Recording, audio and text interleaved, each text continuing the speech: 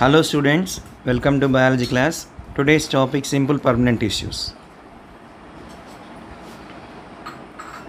Simple tissues are made up of a single and similar type of cells are called simple tissues.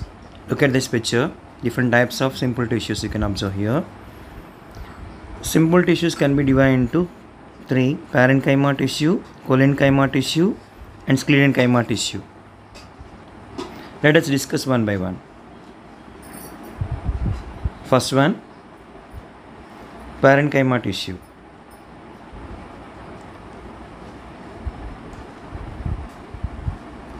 So the- these are the examples of simple tissues parenchyma, collenchyma, and sclerenchyma.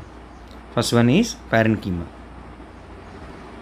So parenchyma they are also known as packing tissue. These are the most common tissue which has spherical thin walled intracellular spaces and large vacuole cell. You can observe in this picture.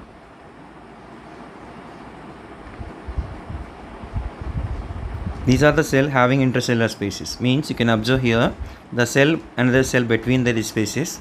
Those are called intercellular spaces. You can observe here. Then collenchyma collenchyma these tissues are made up of living and elongated cells which are irregularly thick at the corners due to mechanical stress on plants so look at the tissue here cells arrangement.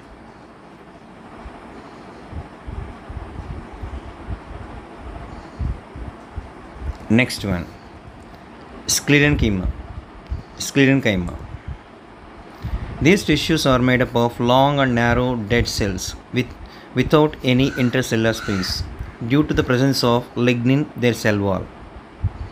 Look at this picture how the cells will be here.